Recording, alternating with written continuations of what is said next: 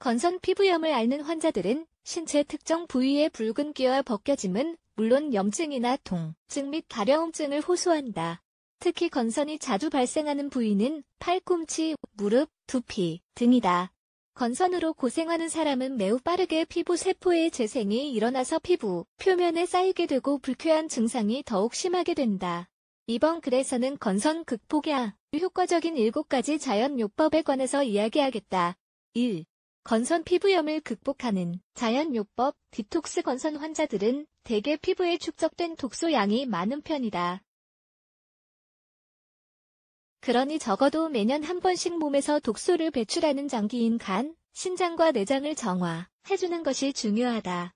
체내 독소를 배출하면 피부에 과도한 부담을 덜어줄 수 있다. 약재상에 가면 다양한 종류의 디톡스 보조제들, 약초차, 시럽 등등을 찾을 수 있으니 본인 생활 양식에 가장 잘 맞는 것으로 고르도록 하자.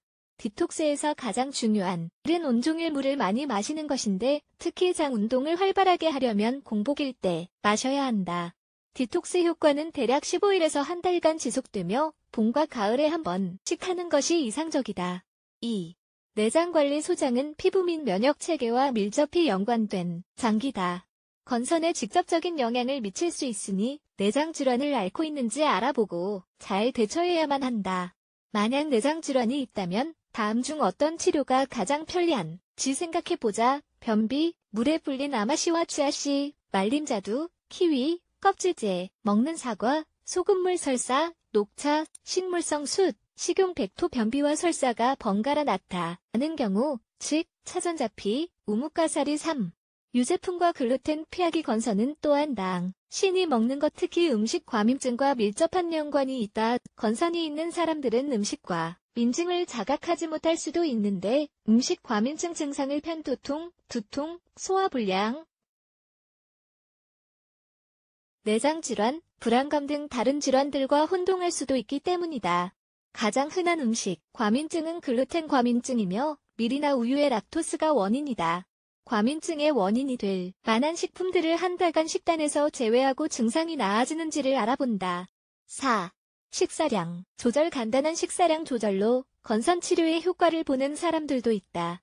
이 이야기는 필요한 양보다 더 먹어서는 안 된다는 뜻이다. 조금 아쉬울 때 숟가락을 놓으면 훨씬 더 만족감을 느낄 수 있다.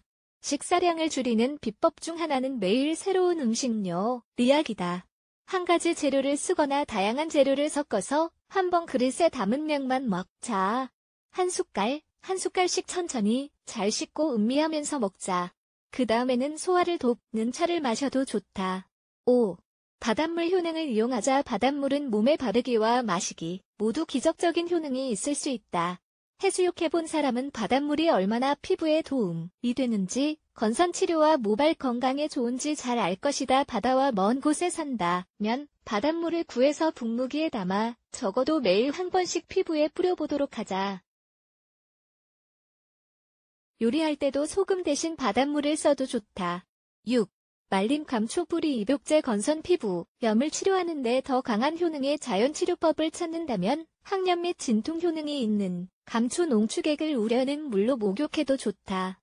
사실 말린 감초 뿌리는 천연 코르티손으로 잘 알려져 있다. 목욕물을 불편하지 않을 만큼 뜨겁게 받고 최소한 30분간 입 욕한다. 7.